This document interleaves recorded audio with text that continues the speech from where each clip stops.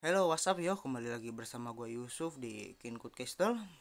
Oke, pada video kali ini gue akan ngebahas tentang relik eh, relik apa saja sih yang harus kalian investasikan di game ini yang wajib kalian punya.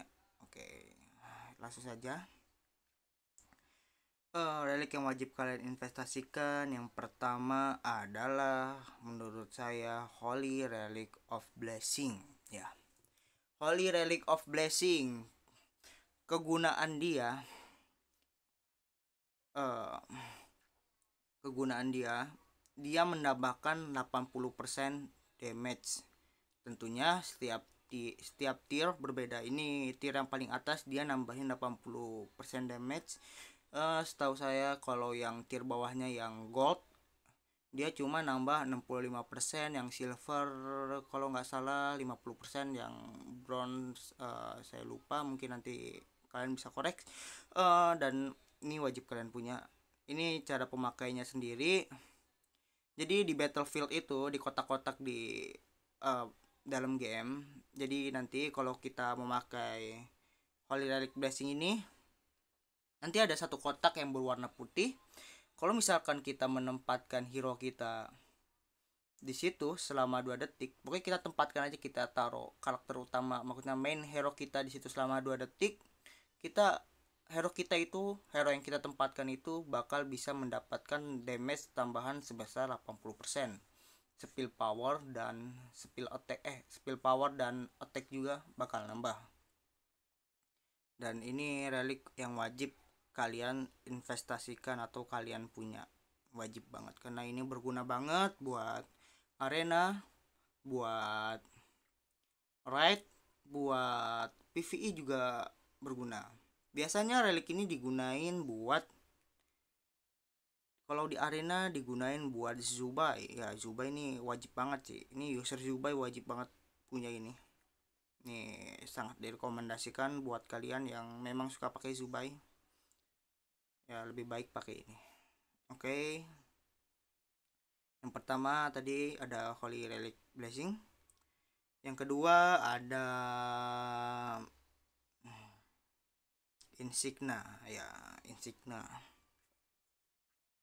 Insignia Insignia sama seperti Holy Relic Blessing tapi bedanya dia dia tidak seperti Holy Relic Blessing yang harus menaruh karakter utama atau main hero kita ke dalam kotak selama 2 detik. Jadi bedanya uh, Insignia dengan Holy Relic Blessing itu kalau Holy Relic Blessing itu cuma bisa digunain satu hero, kalau Insignia bisa digunain beberapa hero. Nah, uh, kalau misalkan ada jadi setiap setiap misal kita punya ada dua hero di battlefield kita di battlefield kita. Nah ini damage-nya enggak 72% jadi kebagi dua jadi 36 terus kalau misalkan ada tiga kebagi lagi dua jadi sampai 5 nanti kebagi jadi tinggal 12% maksimal 5 jadi tinggal 12% jadi ini bakal kebagi-bagi terus.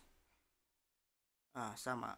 Intinya ini bagus juga buat uh, yang solo-solo biasanya relik ini dipakai sama Jol di arena.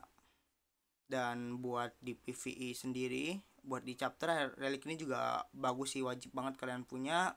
Karena bedanya relik ini dengan Holy Blessing relik ini sangat efisien dan menghemat waktu tidak seperti uh, Holy Relic Blessing yang harus menunggu 2 detik dulu baru bisa dapat tambahan buff damage dari relik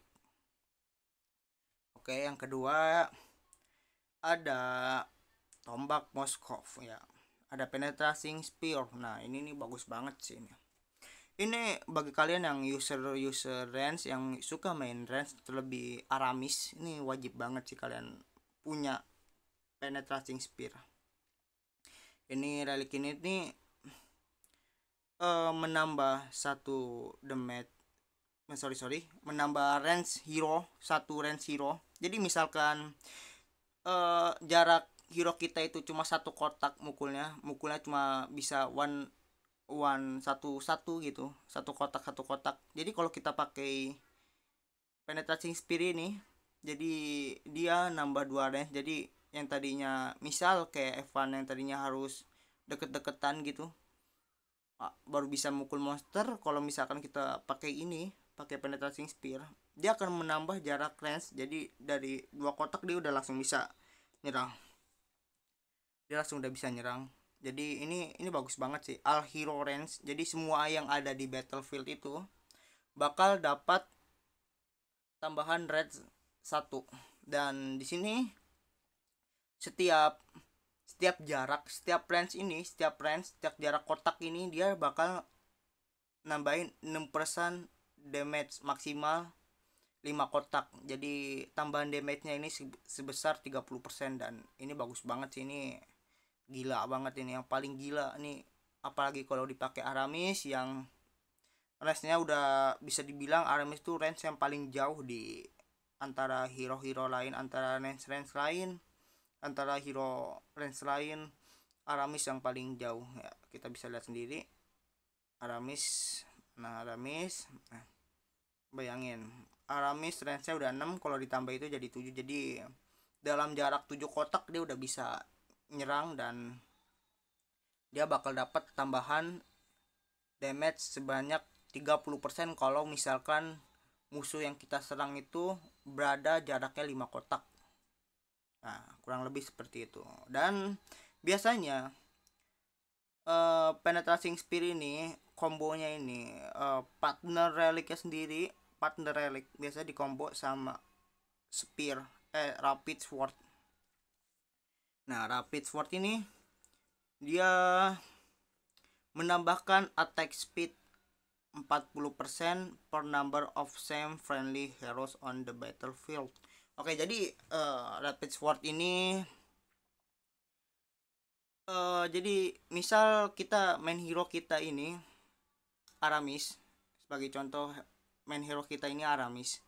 Nah, kalau misalkan ada empat Aramis yang sama yang hero uh, sebagai contoh yang hero utama kita nggak dihitung ya ada empat cloningan Aramis lagi ditambah empat hero Aramis lagi per Aramisnya itu per hero Aramisnya itu dia dapat tambahan 40% jadi kalau ada dua Aramis ada dua cloningan Aramis nambahnya 80% kalau ada tiga cloningan Aramis nambahnya 120% kalau ada 4 Aramis 4 cloningan Aramis nambahnya 160% ya GG banget sih ini.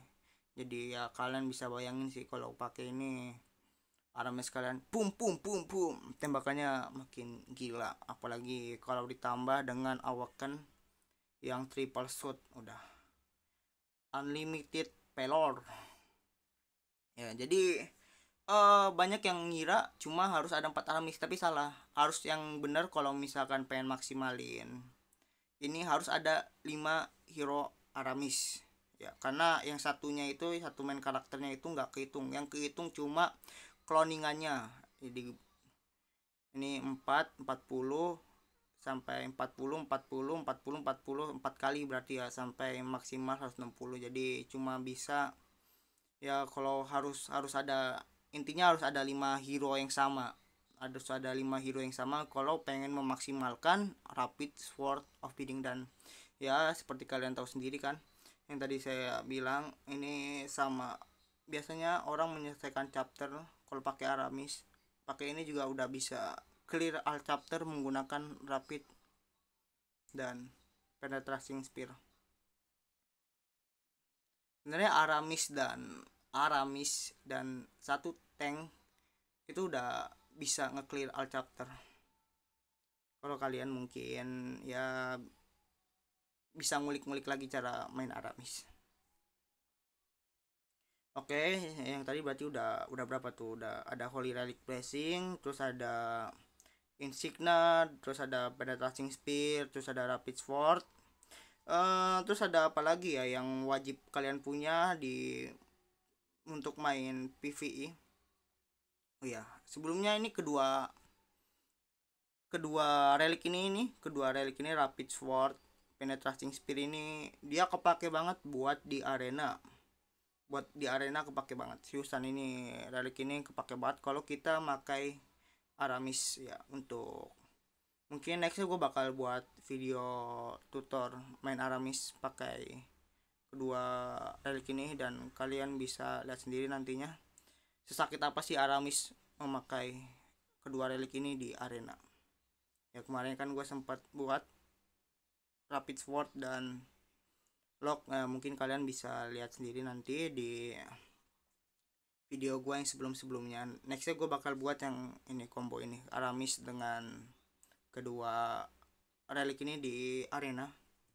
Oke yang ketiga ada eh sorry sorry bukan yang ketiga udah kelima berarti ya. Ada elixir of speed nah ini elixir of speed ya. Mungkin ini kita langsung saja di, ke gameplay supaya kalian paham. Dan ini sama gue bakal jelasin sama yang keenam ada max clone cloning ya Nih kita langsung ke gameplay aja ya, biar kalian bisa tahu. Di sini gue bakal makai makai siapa ya yang kira-kira tanky tanky tanky. Hmm, hmm, hmm, hmm, hmm. Oke, makai gua rasa makai jangan Evan, Evan terlalu ini.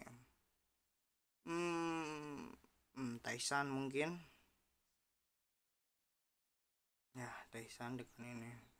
Kita langsung ke gameplaynya saja. Kita main di normal chapter.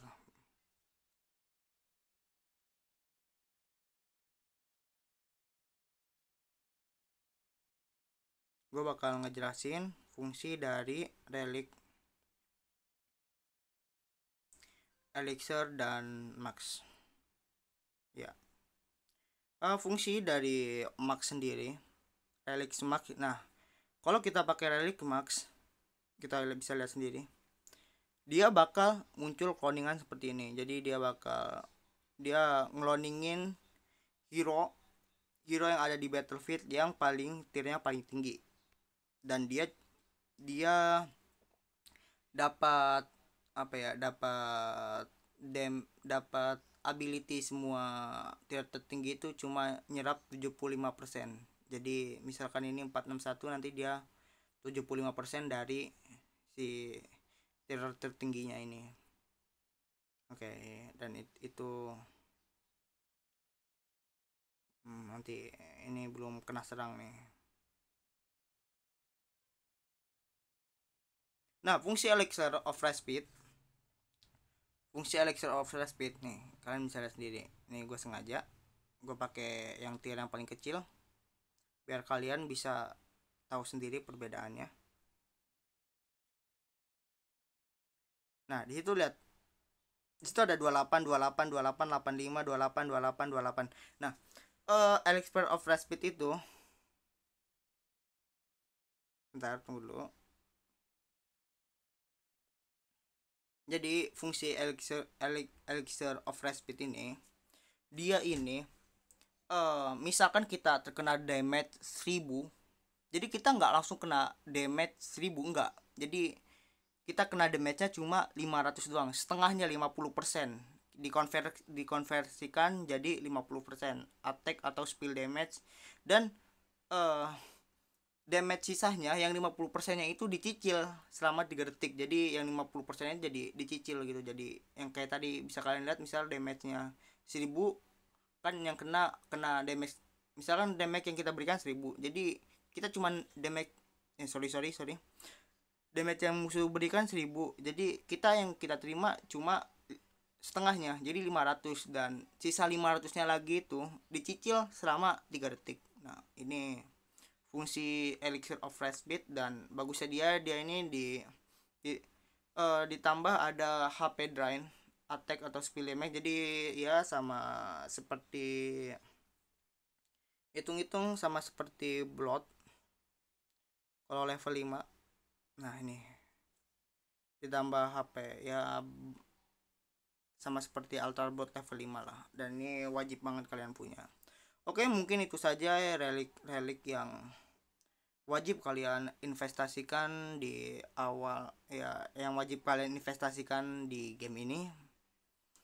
Uh, dan gue juga lupa tadi eh, dapetinnya dari mana aja ya. Lupa ngasih tahu dapetin relik-relik ini dari mana aja oke. Okay. untuk relik holy blessing kita bisa dapat di soft di arena. Di shop di arena. Nah kita bisa dapat di sini. Holy relic blessing dan elixir of respite juga kita bisa dapetin di sini. Dan tadi penetrating spear kita juga bisa dapetin di sini. Untuk max dan insignia kita bisa dapetin di corruption. Untuk max sendiri untuk max kita bisa dapetin di corruption chapter 9 dan chapter 10 untuk insignia kita bisa dapetin di corruption chapter 5 chapter 5 chapter 7 dan chapter 9 ya.